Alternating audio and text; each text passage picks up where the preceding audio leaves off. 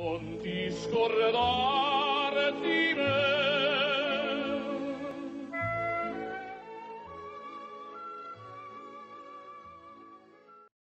Bentornati, come dicevo prima, e benvenuta Cristina di nuovo qui Grazie, con noi. Grazie. Benvenuta, va, Cristina. Grazie Giuseppe, grazie Lorena. Bene, eh, fa Tutto piacere bene. Trovarmi qui. Devo dire che l'autrice l'altra volta è stata molto contenta, si è sentita veramente a suo agio fra voi due, quindi ci avete una carrierona anche come, come relatori di libri. Mi Oddio. per voi, Che ma- bello, grazie. Grazie mille, un complimentone, anzi ringraziamo Titti dell'altra volta con Vico Pensiero, un libro molto interessante, devo essere sincero. Sì, sì, poi riceverete le copie dall'editore, già sono state imbucate. Le stiamo aspettando, infatti, perché siamo Io molto curiosi di attendendo. leggere quel libro.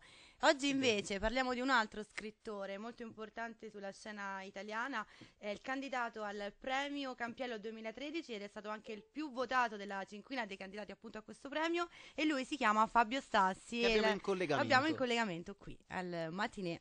Pronto, Buongiorno. Fabio? Buongiorno. Buongiorno, buongiorno a voi. Buongiorno Fabio, Eccomi. grazie. Grazie a voi, è vero.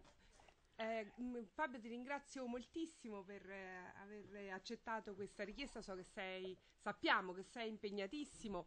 E mh, una cosa che volevo dire, ecco, pubblicamente, e che- di cui parlavo anche con Lorena e Giuseppe prima, è che io raramente ho conosciuto un, un autore di così grande talento e successo con questa grande umanità e disponibilità, mentre al contrario conosco molti piccoli autorucoli e scrittucoli che se la tirano molto. Quindi ti ringraziamo perché sei gentilissimo e, e è anche per noi un grande onore, un piacere presentare la tua opera, eh, l'ultimo ballo di Charlot in particolare, qui a Rieti Lazio TV. Grazie molto Fabio. Se possiamo fare dalla regia, chiediamo a Luciano Moncino un eh, primo piano alla copertina del Come libro. no, ma volentieri perché la copertina è merita, Eccolo qui. è Infatti, L'ultimo ballo di Charlot, Charlot. che Conosciamo tutti perché è veramente Charlie famosissimo, Chaplin. Charlie Chaplin. Sì, sì. Io infatti volevo iniziare con una domanda appunto allo scrittore Fabio Stassi e le- che abbiamo adesso in collegamento. Uno scrittore che lavora in una grande biblioteca romana sembra il luogo migliore dove stare, è, co- è quest- è così? Allora, intanto vi ringrazio per le belle parole, sono generosissima. Eh, Grazie. eh, Sono sincero. è vero, che dopo mh, adesso avrò parecchi impegni, dovrò stare mh, molto in giro e che io non sapevo poi che dietro a un libro c'è tutta questa, mh, questa attività, questi viaggi, questi incontri, alcuni naturalmente sono molto belli. Eh, oggi però stranamente e eh, curiosamente mi sono svegliato con due linee di febbre e quindi sto a casa e sto, Aia, sto benissimo. No, saranno le emozioni così, quindi siamo tranquillissimi. Eh, il colpo Dunque, di io ti- grazia ti diamo, magari, speriamo di no. No, no, e comunque, ehm, sì, io lavoro in una biblioteca, ho lavorato per tanti anni in una biblioteca di storia, che era eh, di storia contemporanea, adesso lavoro nella biblioteca di studi orientali. Ehm, la biblioteca di storia era la stessa eh, nella quale avevo studiato da ragazzo e avevo cercato di, insomma, di, di- di arrivare lì in tutti i modi perché eh, all'inizio lavoravo in una biblioteca di medicina, quindi avevo chiesto trasferimento. Per me la storia era eh, ed è ancora una delle, delle materie più importanti. Diciamo che la prima eh, materia che ho studiato, eh, io pensavo di, di- insomma, mi sarebbe piaciuto così poi fare lo storico. Poi eh, invece ho capito che probabilmente non ero adatto perché cambiavo continuamente il, ehm, le vicende, eh, le modificavo, mi veniva sempre eh, così e quindi mi ricordo la mia professoressa mi disse guarda te eh, è meglio che fai lo scrittore ma non, non lo storico però eh, ecco mi è rimasta quel, ehm, quel desiderio quella- quell'impronta e anche quel desiderio così di cercare di capire che cosa, che cosa è successo, soprattutto nel Novecento.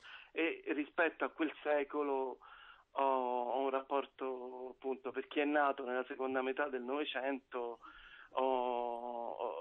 appartengo al Novecento. Fabio, una Eh, domanda. sì. Com'è nata la passione per la scrittura? Ecco. E soprattutto da quando è nata? Guarda, la passione della scrittura io ce l'ho avuta sempre, ora non, non so come, come spiegarlo. Eh, mi ricordo che anche da bambino, appunto, avrei scrivevo, scrivevo in continuazione, era, era, mm, era, era un, diciamo che era una modalità di esprimere, ero un bambino molto timido e molto introverso e, e la scrittura mm, era, era una, Un momento una di delle sfogo. forme sì, di espressione che, che ho sempre eh, preferito. Poi eh, è, stato, è stato però una, un appren- è ancora assolutamente, lo sarà penso per sempre, perché la scrittura è così, è un apprendistato continuo, eh, ancora sono lontanissimo da come vorrei scrivere. E, mm, si fanno nella scrittura come forse mm, in tante, in tante da- nelle- nelle- anche in qualsiasi altra disciplina. I miglioramenti però sono ve- davvero lentissimi.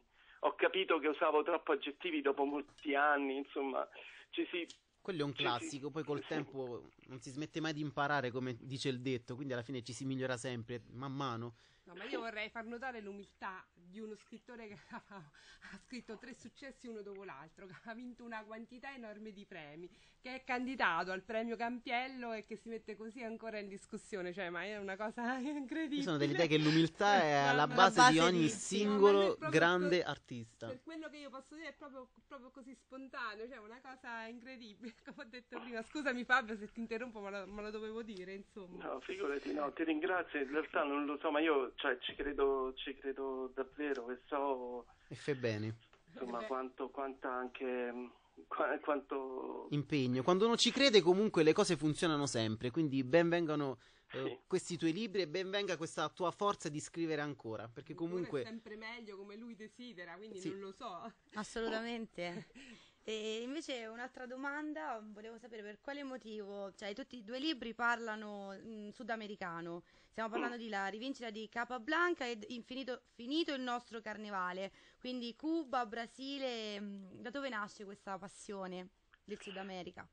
Sì, ehm, questa è, è una radice familiare. Eh, mia nonna era nata a Buenos Aires e Wow. parlava un misto di dialetto siciliano e spagnolo e so- io sono stato allevato in questa strana lingua e probabilmente. Sì. mi ha trasmesso un, un suono, così diciamo, un, un- un eco, solo che ehm, i sentimenti che sia la mia famiglia, eh, che è una famiglia di, è stata una famiglia di, di emigranti soprattutto, eh, provavano verso l'America erano davvero ambivalenti.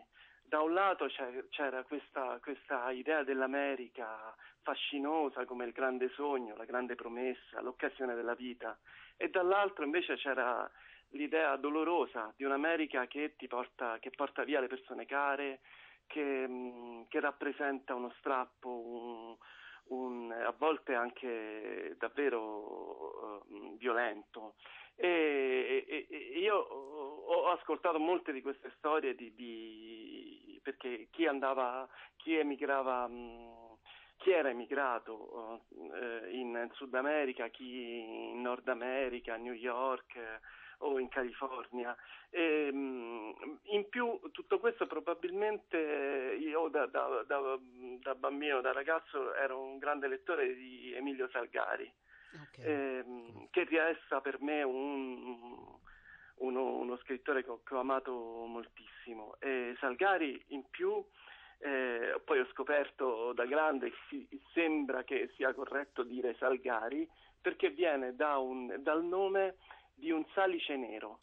E, e questo è, una- è anche un bel simbolo, una bella metafora perché la storia di Salgari è una storia molto triste, lui morì suicida, non riuscì, scriveva, non riusciva a pagare eh, gli affitti, gli editori gli Classico. rubarono tutto, insomma è una storia molto, eh, eh, contrariamente a quello che si pensa o si sa, insomma, è una storia eh, molto triste. E, però lui aveva questa cosa, sì, questa avventura di, e questo uso anche di... eh, I nomi accendevano la sua fantasia, i nomi esotici, i nomi strani, eh, ecco, è come, è come sono come dei piccoli interruttori.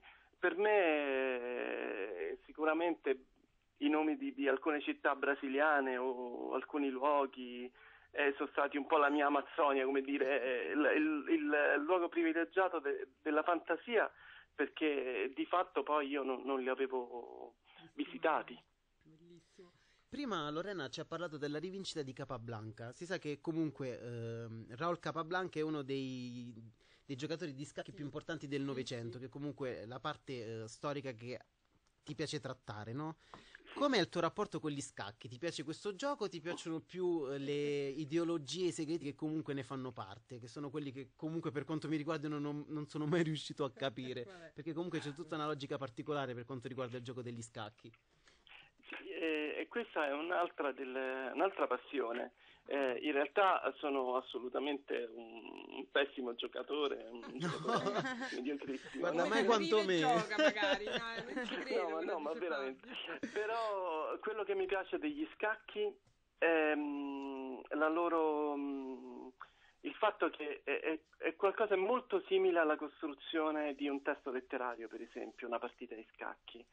Eh, c'è, un- c'è un'apertura che è la prima mossa ed è l'incipit di un racconto e sappiamo appunto che in un racconto, soprattutto nei racconti brevi, la prima frase è fondamentale, così anche, anche la prima mossa di una partita. Poi c'è lo svolgimento, de- quindi lo eh, il- si chiama il medio gioco, la conquista del centro, eh, diciamo che potrebbe essere letterariamente lo svolgimento della trama, eh, come i pezzi si dispongono sulla scacchiera e poi c'è il finale. Eh, io credo molto nel finale ehm, anche in letteratura, cioè sono convinto che mh, ogni buona storia debba avere un, un finale forte e Capablanca era il maestro dei finali.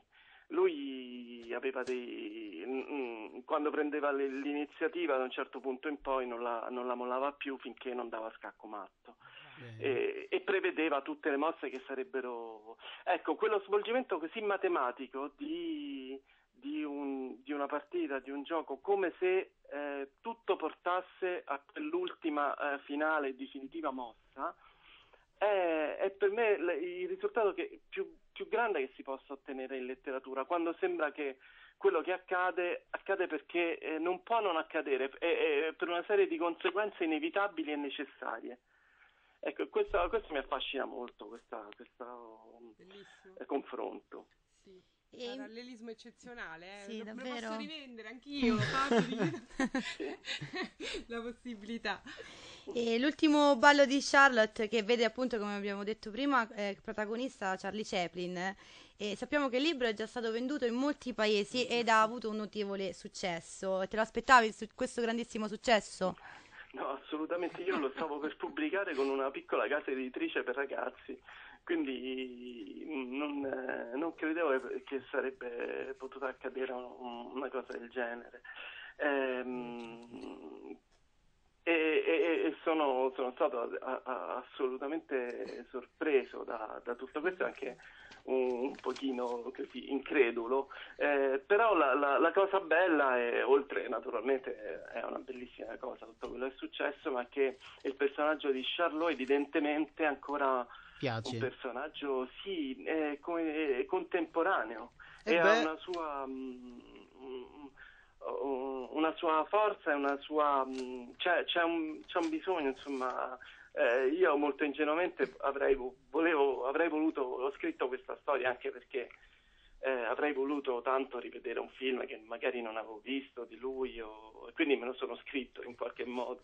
Eh, però le- la sua figura è ancora scandalosa, mm, una sua forza scandalosa, ecco, nel, eh, il- perché lui chiaramente si sa, da che par- sa- si sa da che parte sta e ha questo modo eh, molto Originale. Sì, leggero e anche malinconico di, di- di- di vivere la vita.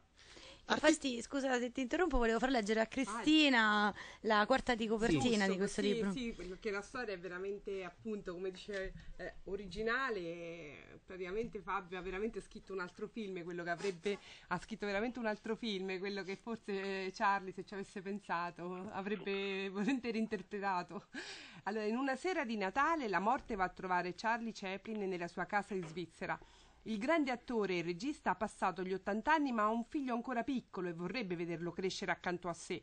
In un lampo di coraggio, Chaplin proporre un patto alla vecchia signora: se riuscirà a farla ridere, si sarà guadagnato un anno di vita. Inizia così un singolare balletto con la morte. Quella notte a salvarlo non sarà la tecnica consumata dell'attore, ma la comicità involontaria che deriva dagli impacci dall'età. La questione però è solo rinviata. Anno dopo anno, a Natale, la vecchia tornerà a reclamarlo e bisognerà trovare il modo di suscitarle almeno una risata.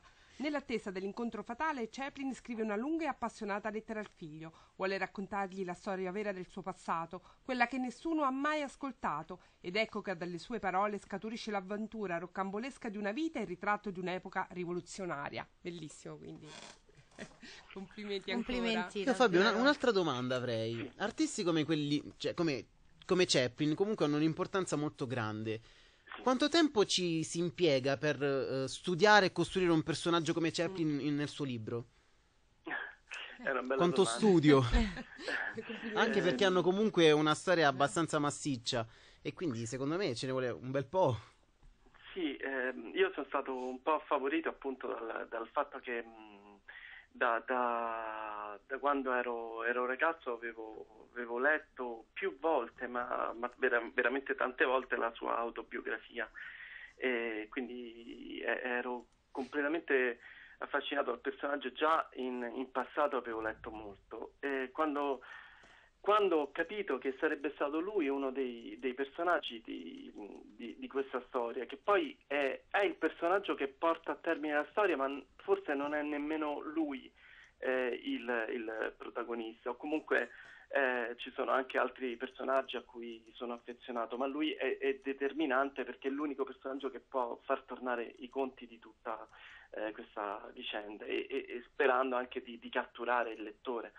E quindi ho, ho riletto tu- tutto quello che c'era mh, possibile, insomma, eh, interviste, biografie, interviste soprattutto, e ne sono uscite parecchie, alcune sono, sino- sono illuminanti, eh, c'è un'intervista in cui lui dice io sono l'uomo mancino, io sono un dorso, eh, insomma, sono tutte suggestioni che poi eh, mi sono servite, appuntavo ecco, le- le- quello che, che poteva poi eh, svilupparsi anche come germe di, di un- di- un- di una storia, ma mh, eh, come vi dicevo, per- però lui è, è- è- è il, è il personaggio che si carica questa storia sulle spalle, ecco, in questo è, è importantissimo. E- essendo una favola, io pensavo fosse una favola per ragazzi, invece probabilmente eh, devo arrendermi al fatto che, che Mm. forse è una favola per adulti, Sì. eh, Eh però come in,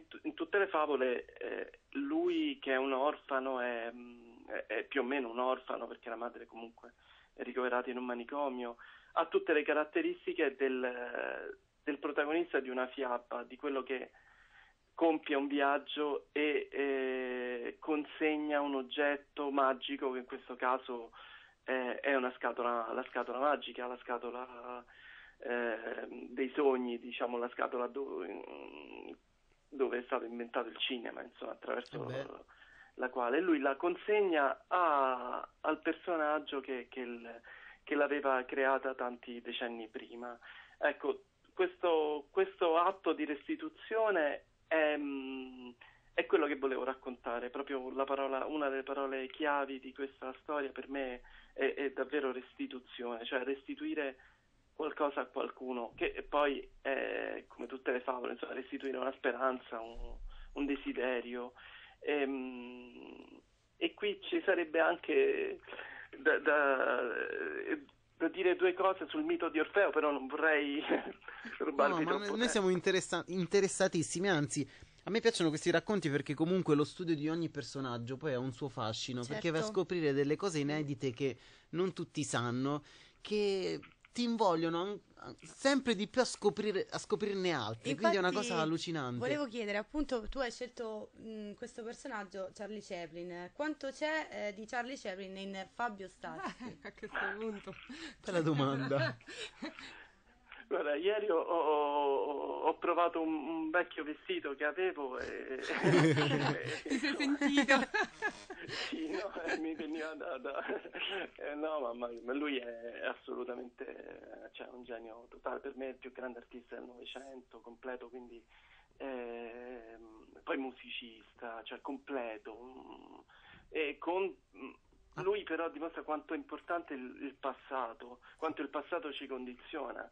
Eh, per me è quel genere di artista che mi commuove perché eh, nel- nelle, sue, mh, nelle sue opere d'arte, insomma, nei suoi film, eh, hai la sensazione che tutto quello che fa eh, per lui sia una questione di vita o di morte. E io credo che veramente era, era così, eh, perché lui veniva da un'esperienza così tragica, così Difficile. eh, sì, una miseria così forte, insomma, eh, che eh, o, o riusciva a riscattarsi o, o sarebbe stato travolto ne- nel tentativo, insomma. Quindi per lui non è, mm, è, è- è davvero qualcosa di, di eh, un investimento emotivo totale. Ecco, questo, questo genere di artisti mi, mi- come dire, mi- mi- Affascinano. mi commuove. Eh, sì, sì, ti toccano nel profondo poi alla fine, che comunque parliamo di un genio. E beh, Fabio, hai definito questo libro, l'ultimo ballo di Charlotte, l'ultimo di una trilogia. Qual è il filo conduttore di tutti e tre i libri?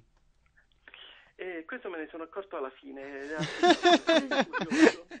No, ma è davvero curioso perché mh, eh, ho, ho fermato la stampa e gli ho fatto aggiungere un'ultima nota finale al libro eh, che era già andato insomma In stampa. in tipografia. E, mh, mi sono accorto che tutte e tre le storie intanto parlavano appunto, come abbiamo detto, dell'America e curiosamente eh, era un viaggio progressivo, salivano dal Sud America fino, fino alla California, passando per il Centro America di Cuba. Poi curiosamente avevano una specie di calendario, cioè la prima, la prima storia l'avevo intitolata col primo verso di una canzone di Vinicius de Moraes, eh, Acabou nostro carnaval, che vuol dire finito il nostro carnevale, e quindi era il carnevale. Eh, la seconda, eh, questa di, quella di, di Capablanca, eh, non aveva nel titolo un- un- una, una festività, però, mh, però eh, era una storia di, ehm, in qualche modo di, di- di resurrezione eh, da parte di, di Capablanca attraverso eh, le consegne, attraverso un bambino. Eh, e quindi in qualche modo era una Pasqua, una Pasqua proprio perché un- un- un- la Pasqua vista come eh, laicamente, quasi come riscatto, insomma. E quest'ultimo è un Natale, perché a lungo il titolo è stato l'ultimo Natale di Charlot.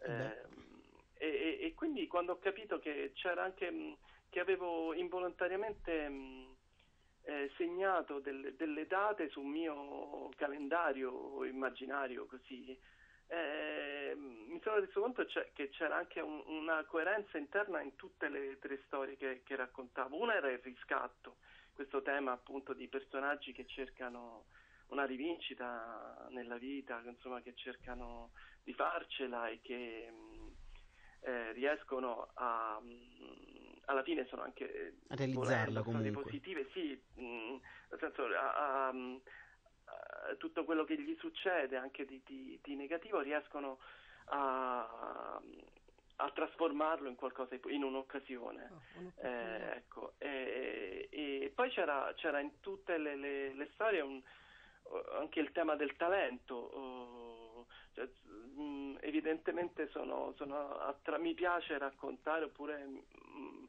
mi piacciono anche vedere, leggere i libri o vedere i film, quando si racconta il momento in cui si manifesta un talento nella vita. E per me quello è uno dei momenti più importanti della vita delle persone, perché è come, per me il talento è il destino. E, Bella questa. è il momento in cui il, il Mm-mm. talento si, si manifesta, è come se tu sei, arrivato, sei andato all'appuntamento con il tuo destino. E io credo che un talento ce l'hanno tutti gli esseri umani, un qualche talento.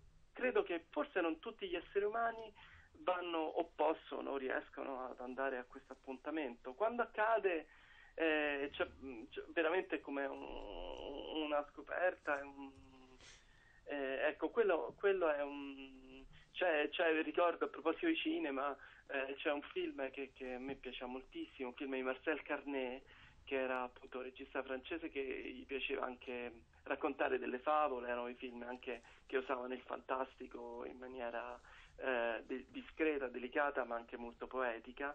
Eh, questo film si chiama, mi sembra, Mentre Parigi dorme ed è l'esordio di Yves Montand E, mm, e qui c'è un proprio c'è un, il, il destino è impersonato da un attore e ci sono questi, questi personaggi che vanno, vanno, a incontrarlo, vanno al loro appuntamento, tutto si svolge di notte in un porto, insomma, ecco, queste è un, sono atmosfere che mi piacciono molto. E direi proprio di sì, insomma. Io volevo riallacciarmi a una dichiarazione, a una tua dichiarazione. Eh, scrivere è un atto etico e di grande responsabilità. Eh, ci puoi spiegare questo concetto? Eh, guarda, è più che mai adesso dire, diventato attuale dopo questa storia un po' incredibile delle, del campiello che sento una responsabil- la responsabilità è aumentata enormemente. Ma mh, io credo che, che, si, che, la responsabilità ci sia sempre, anche se scrivi. Eh, per, per, non credo che si scriva per se stessi, si scrive comunque eh, per essere letti, per comunicare, per, ehm, si scrive anche ehm, per un amico, soprattutto io credo che, che l'amicizia sia un, uno dei sentimenti che ha a che fare molto con, con i libri, con le storie. Credo, è un valore davvero... importante secondo me, infatti è un valore in cui io credo tanto e che spesso viene a mancare, c'è da dire. Purtroppo. Mm-mm. Sì, sì, no, se io se posso dirlo, a volte eh, potrei anche dire che, che scrivo per, o ho scritto anche per, per, eh, per, per farmi leggere da, dai miei amici, insomma, Bellissimo. anche per farsi volere bene naturalmente, Eh perché è così. Ma eh, comunque che credo tantissimo che sia un atto etico, mm, perché le, le parole sono per me sono degli organismi viventi come eh, una parola può ferire, può, può lasciare delle cicatrici molto più, più durature di, di, eh, di un oggetto contundente se usato. E le parole, eh, soprattutto per chi non ha altro oppure non ha diciamo, delle ricchezze, delle, eh, possono, hanno un potere fortissimo perché con le parole si può sedurre, si può... mm, eh, si può fare m- mo- molto, insomma. C'è un detto che eh, dice sì. che una parola fa più male di uno schiaffo. Eh già, ed ed è è vero. vero. Sì, sì, ma si può, può anche ingannare, ecco. Eh, in questo penso che bisogna, eh, uno debba scrivere senza pensare a, a- a niente, non, non a- alle conseguenze, però che debba essere profondamente onesto con se stesso.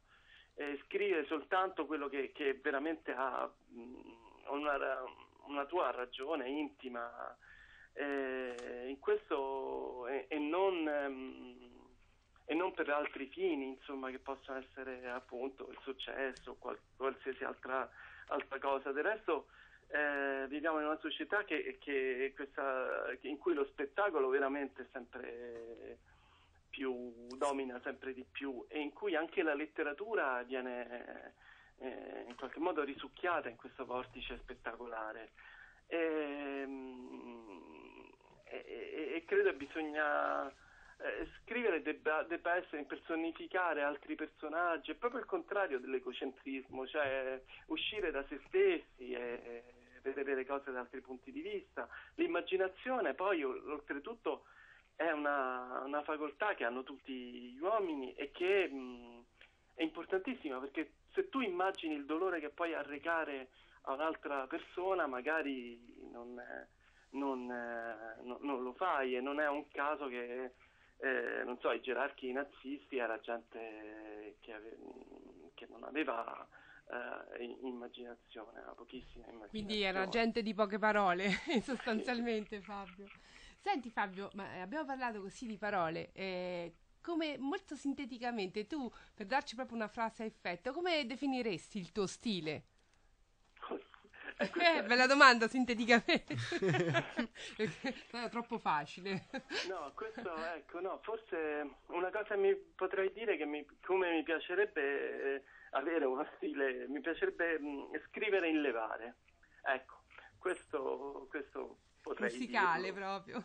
Il levare, sì, non so se avete presente la musica brasiliana, per esempio, tutta la musica appunto che viene dall'Africa, o- in Sì, cui sì. non conta tanto il movimento del, del- del battere, ma quello eh, in, in- in levare. Cioè, ehm, eh, mm, scrivere in modo che tu non ti aspetti quello che, che, mh, che, venga, che venga, dopo. C'era un eh, farsi sorprendere, insomma, anche da, dalla, dalla, scrittura. C'era una um, frase bellissima ecco, di, di, John Coltrane, che era un musicista eh, sì. jazz, eh, che, che, diceva che i suoi assoli eh, di sassofono, lui eh, dice io vorrei che la gente che ascolta i miei assoli abbia la sensazione di mettere il piede nel vano vuoto di un ascensore. Ecco, wow. Ecco, que- questo, questa sospensione, riuscire a dare que- questo, que- far mancare un attimo il respiro in quel modo, eh, quello sarebbe, ma naturalmente difficilissimo. Eh beh. È emozionante. Beh, però comunque devo dire che il libro di, di Fabio Stassi comunque, eh, diciamo, sebbene lui parli sempre di questa sua attenzione al miglioramento, a questo suo insomma ideale dell'elevare, è un libro che si legge benissimo e c'è anche, devo dire, tensione, perché ogni volta che si affaccia alla morte uno eh, praticamente si interroga che cosa si inventa adesso, eh che cosa inventerà e, e, devo dire che ci riesci benissimo comunque a creare questa, questa suspense, veramente eh, gradevolissima la lettura, sotto moltissimi punti di vista. E un'ultima domanda. E cosa eh, potrebbe cambiare nella tua vita eh, vincendo il campiello? No, non voglio, non Cattiva voglio questa. Nemmeno, non voglio nemmeno pensarci, ma eh, no, diciamo che, che le, mm, io io la- lavoro, forse non so se... Sono già venuto, sono venuto a Rieti due volte, sono, sono stati due incontri bellissimi. E la foto che abbiamo, scusa se ti interrompo Fabio, però ti ritrae proprio a Rieti, eh, comunque, Ah, tu adesso ecco, non sai... Quindi... No, no, infatti eh, sono stati incontri davvero belli. Sì. E lì appunto avevo raccontato che mh, io in realtà sono un pendolare perché mh, vivo a Viterbo e lavoro a Roma quindi tutti i giorni sto in treno eh, quattro ore circa ogni giorno. Mamma Oggi no, mia. appunto perché ho un po' di febbre, ma eh, tutti i giorni è così. E que- questa per me è stata una grande opportunità, una grandissima opportunità perché ho avuto eh, tutto questo tempo insomma, per leggere, per scrivere in questi anni.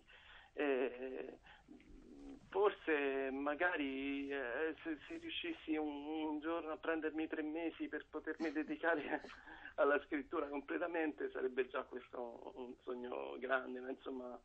ehm, Siamo comunque a un, buon- un ottimo punto. Comunque abbiamo tanti incipit per dei progetti futuri, vero? Sì, sì, certo. Eh, abbiamo, abbiamo sì, due, soprattutto un- due storie, insomma, ancora imbastite, però a cui tengo moltissimo e che però saranno anche molto diverse da, da questi precedenti, anche se, anche se i temi, mi rendo conto che poi i temi tornano in maniera un po' così involontaria. Eh, ecco, Eh, no, vorrei salutarvi, magari eh, avevo accennato prima al mito di Orfeo e Come no? ci terrei a dire quest'ultima, quest'ultimissima cosa, Certo. perché sì, questo è, un, è uno dei... mh, è un pensiero mh, che ultimamente mi, mi- mi capita di fare spesso, ho fatto gli incontri anche nelle scuole, è saltato fuori sempre questa storia di Orfeo. E allora ripensandoci ho- mi viene da, da credere che, che sia una storia molto importante. Io per tutta la, la- la- per tutta la mia vita eh, ho avuto verso Orfeo una, una grande rabbia perché lui ha l'occasione di riportare Euridice dal, dal Regno delle Ombre in vita e ha il divieto di voltarsi e all'ultimo, proprio all'ultimo, si volta. E io è, è sempre, se- mi sono sempre detto perché? Cioè, ce l'aveva fatta, ce l'aveva... Perché? E adesso eh, mi sono dato una risposta che in fondo è anche, anche la storia di Charlot in, parte, in parte lo è se, se- se- se è letta come una storia d'amore. Eh, quel patto che Orfeo aveva fatto con gli dei era una truffa, ma Orfeo lo sapeva, perché dalla morte non si può tornare Ah, ok. e il tempo non si può riportare indietro. E allora l'unica cosa che si può rubare eh, è uno sguardo all'indietro, uno sguardo appunto verso Euridice che, che può rappresentare tante cose, la, la donna amata, la terra di partenza. E quindi lui si prende l'unica cosa che c'è, conce- quello sguardo così effimero è, è l'unica cosa che è concessa agli uomini. E in fondo l'invenzione del cinema è anche questo, eh, come dire, la morte anche che mh, è, mh, è- è stanca di, di essere, essere la morte. E mh, La fine di l'unica cosa che, che si può, che si può regalare agli, agli uomini è, è- è fargli rivedere un- una cosa di quando erano giovani, per esempio, come nel caso appunto dell'altro personaggio di questa storia, la donna amata della sua vita. Eh, ecco, quel- quel- quello sguardo restituito è, come dire, l'unica risposta che possiamo dare al dolore del- della mancanza, della perdita, che poi in fondo probabilmente è uno dei, dei motivi più, più grandi per i quali si scrive, cioè si scrive come Orfeo, l'artista, si cerca di, di rimediare un po', un po' di curare il dolore, di, eh, di ammaestrarlo, di addomesticarlo un pochino, oppure di farlo esplodere, eh, ben consapevoli però che appunto non è possibile nessun... eh, ehm, eh, non, eh, no- non c'è possibilità di ritorno. È vero, è- Purtroppo. purtroppo è così. Purtroppo Eh, è così. purtroppo è così. Bellissimo Fabio. Noi ti Davvero, ringraziamo Fabio per grazie. essere stato qui Grazie, con noi. E Ringraziamo anche Cristina. ringraziamo Cristina e ti auguriamo tan- tanti tanti in bocca al lupo per questo nuovo progetto e speriamo ben presto di averti qui con noi proprio fisicamente. Magari. ne avrò bisogno. Intanto pensa a guarire da questo piccolo malessere. sì, sì, sì. Eh, Grazie ancora. Eh sì. Va bene, buon- buon- buona Grazie, giornata a Fabio. tutti. Buona giornata Fabio. Fabio, grazie. Bene Lorena. Bene, è stata veramente bella questa intervista, Sì, davvero. Molto interessante. È bello anche questo spazio che Cristina ci regala ogni volta, Eh, che riguarda bellissimo. comunque la letteratura, che è una cosa molto importante e fondamentale nella vita di ognuno di noi, perché comunque non fa altro Apre che la alimentare la mente. cultura. Esatto. Quindi Noi ci rivediamo nel weekend con un altro ospite che poi scoprirete solo vedendolo. Non diciamo nulla ancora, Solo vivendolo. solo vivendo. e come diceva un grande, quello di prima. E adesso tra pochissimo ci saranno le anticipazioni sportive con Paolo Giomi. e Intanto ci ascoltiamo una canzone d'amore perché dai, ci può Oh, stare, ci bellissima. vuole. Ti ringraziamo ancora Cristina. A presto. Ciao.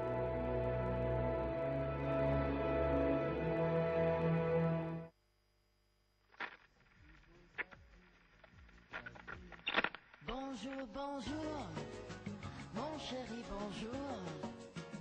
Chaque matin, réveille-moi, embrasse-moi. Bonjour, bonjour, mon petit amour. Voici la vie qui sème la joie.